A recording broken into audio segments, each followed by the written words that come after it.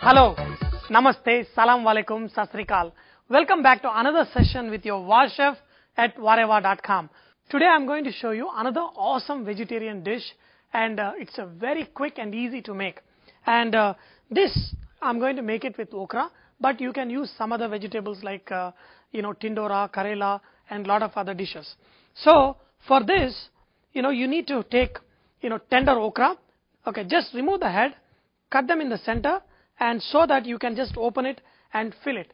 First, we are going to cut all these okras together, and then we are going to fill it with beautiful spices and make it bharwan bhindi. For this, you need sambar powder, and uh, you can use freshly ground homemade sambar powder, or even you can use the store bought powder because this masala has all the spices that needs to make a good bharwan bhindi or other vegetables. I'm going to add a little bit of amchur powder to this, salt, lime or uh, lemon juice, besan that is a gram flour, little bit of onions, sliced onions into thick slices, chopped coriander.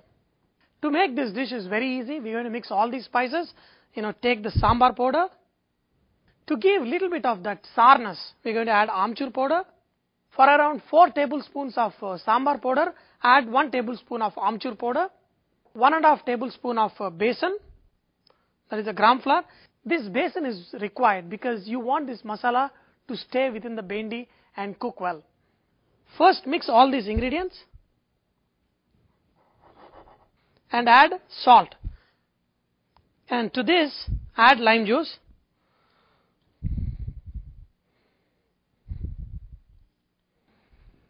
And add little bit water and make into a thick paste.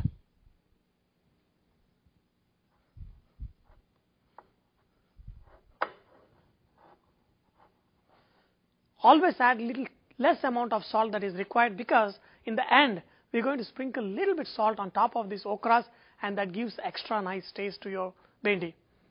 Take these bhindis and just fill the bhindis little bit, okay? Do not fill too much, just required amount of masala and keep filling all these okras. Okay.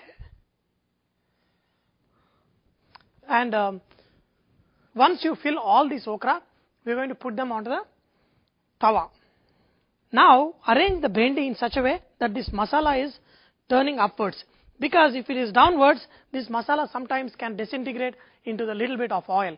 This way, what happens is, this okra gets steamed and this masala with little bit besan gets cooked. That way, when you turn the other side later, you know, this masala doesn't get dissolved into the oil. Okay? you know this is very easy and quick only time takes is uh, cutting this okra but this dish is very excellent and it goes extremely well with your pulavs and a lot of rice dishes and especially when you're making you know a lot of non vegetarian dishes for your friends for a party make this and this will be like a special treat for your vegetarian friends okay and i always prefer to use uh, again non stick for this because it's very easy to cook and uh, no masala gets stuck at the bottom.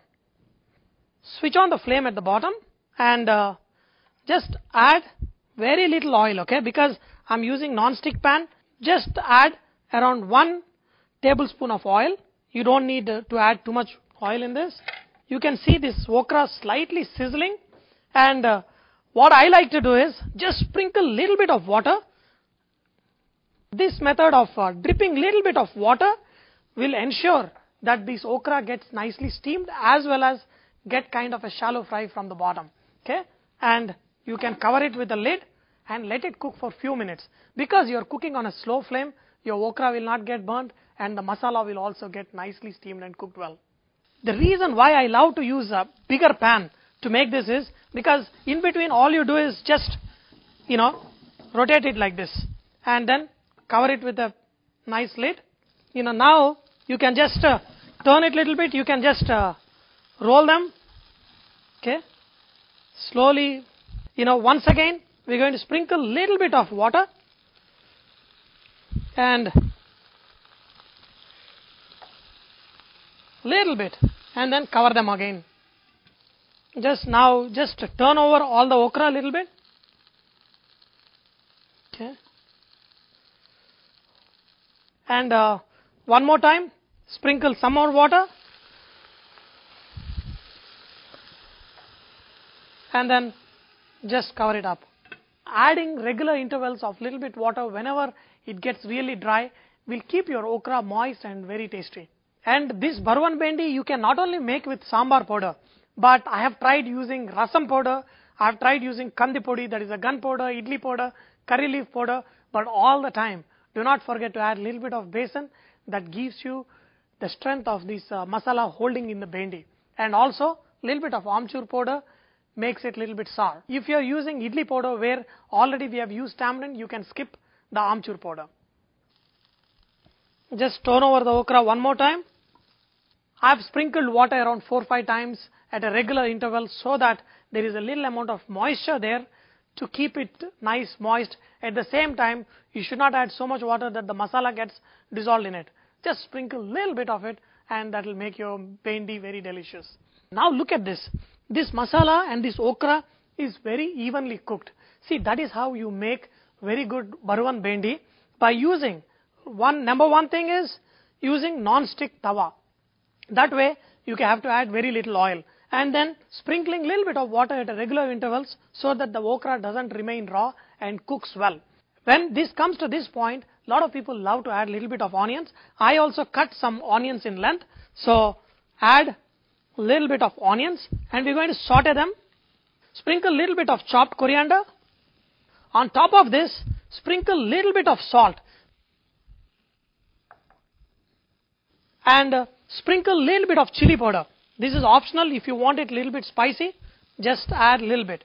You can mix up. Okay, let it cook for 5 more minutes, but this time do not put the lid on and just let this onion saute a little bit and then your dish will be excellent. You know, along with the onions, you can also add little bit of bell pepper, that is a capsicum. Use red or uh, yellow bell pepper and that gives a very nice contrast color to your bharwan bhindi. and uh, you can have this bhindi with either rice and uh, or chapati, whatever you like.